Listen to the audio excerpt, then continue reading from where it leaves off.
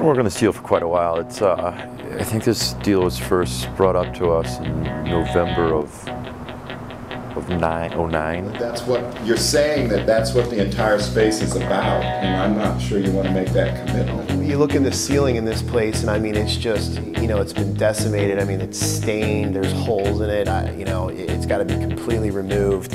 You know, you come down to the windows, you can barely see out of these windows. There's just film and filth everywhere. Everything's always moving.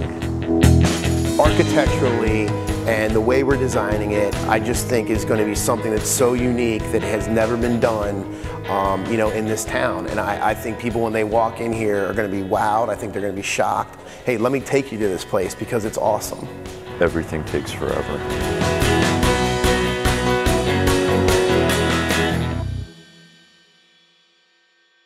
Charcuterie, charcuterie, charcuterie. That's why, that's why I got married.